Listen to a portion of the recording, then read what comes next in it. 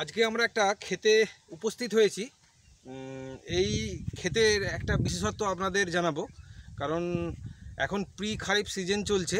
এই সিজনেতে কিন্তু প্রচুর পশ্চিমবঙ্গে ওলের চাষ হচ্ছে। আমরা দেখতে পাচ্ছি এখানেতে জমিতে কিন্তু ওল আছে।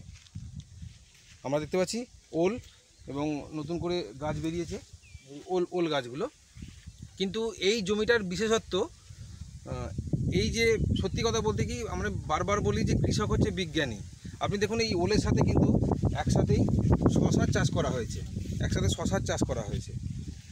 শশা গাছ দেখেই মনে হচ্ছে এটা প্রায় দু মাস বয়স। এক দু ক্ষেপ শশা তোলা হয়েছে এবং তারপরে তো তার মাঝখানে যখনই শশা লাগানো হয়েছে, তার হয়তো দশ দিন আগেতেই কিন্তু ওল গাছটাকে, ওলের বীজটাকে কিন্তু মাটিতে লাগিয়ে দেওয়া হয়েছিল। এবং মাটিতে লাগিয়ে দেওয়ার পর এখন গাছ বেরিয়ে গেছে।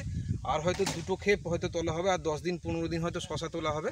তোলার পর গাছটাকে যখন শেষের দিকে চলে আসবে তখন কিন্তু এই শশা জমিটা জমি থেকে কিন্তু শশা গাছ কিন্তু তুলে ফেলে দেওয়া হবে। এবং তুলে ফেলে দেওয়ার পর এই যে গাছগুলো আছে গাছগুলোতে কিন্তু দুদিক থেকে মাটি কিন্তু চড়িয়ে দিয়ে একদম পুরো সুন্দর করে নালা করে দেওয়া হবে। সুতরাং আমার আজকে বক্তব্য হচ্ছে যে একই জমির থেকে হ্যাঁ, একটা সিজনেতেই বেশি ধরনের ফসল যদি আমরা চাষ করতে পারি তাহলে কিন্তু অতিরিক্ত আয় কিন্তু আমরা করতে পারব। যারা কৃষিকাজ করেন, তারা নিত্য নতুন এই ধরনের বিজ্ঞান, বিজ্ঞানের প্রয়োগ কিন্তু তারা জমিতেই করে যান। আপনারা আপনাদের ইনোভেটিভ যে আইডিয়াগুলো আপনারা নিজেদের জমিতে করান, যেমন এই যে কৃষক আছেন, ইনি কিন্তু নিজের ইনোভেটিভ আইডিয়া দিয়েই কিন্তু ওলের সাথে শশার চাষ করেছেন, একসাথে চাষ করেছেন। আপনারা কিন্তু এই ধরনের নতুন কিছু চাষ করুন।